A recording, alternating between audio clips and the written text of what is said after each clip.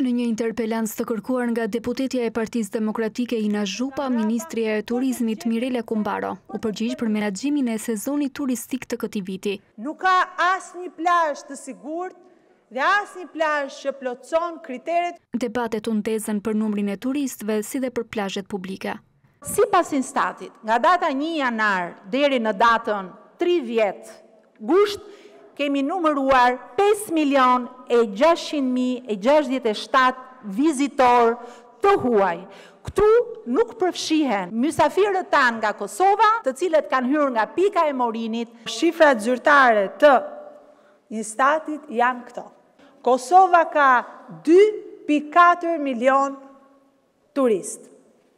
Maqedonia, katërqind e dyzet e tre mijë, rreth pesëqind mijë turistë, nuk dihet nga e kanë origjinën, kanë përdorur Shqipërinë si një vend tranzit.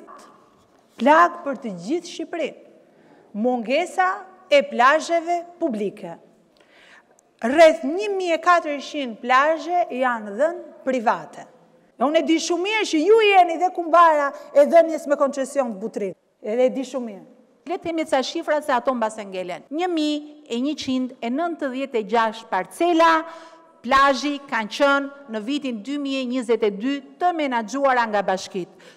Deputetja Zhupa tha se ministrja e Turizmit në asnjë pjesë të fjalës së saj nuk mbajti përgjegjësi për keqmenaxhimin gjatë sezonit turistik apo për situatën e krijuar kur fadromat shkatërronin Prestige Resort në Golem ndërkohë që turistët konsumonin mëngjes. Pse nuk erdhe këtu të thoje çfarë thonë revistat e huaja për fadromat që ti fut në mes të sezonit turistik?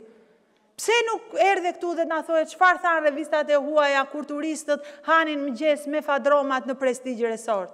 Pse nuk erdhe këtu të na thua çfarë thonë gazetat angleze kur vdiq vajza kur e vranë vajzën në Himarë. A kishte përgjegjësi Mirela Kumbaro? Sot nuk do të isha duke bërë interpelancë me Mirela Kumbaron, por me një ministre tjetër, sepse Mirela do të kishte dhënë dorëheqjen. Debati mes ministres së Turizmit dhe deputetes së opozitës u fokusua kryesisht tek Saranda dhe Ksamili ku Zhupa gishtin e akuzës ia drejtoi personalisht ministres. Në gjithë Ksamilin nuk gjen dot një plazh publik.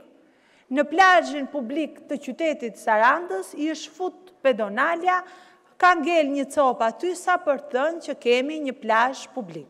Në buzë të shëtitores kanë qenë plazhet publike model. Bashkia Sarandë ka arkëtuar gjashtëdhjetë e katër milionë lekë të reja.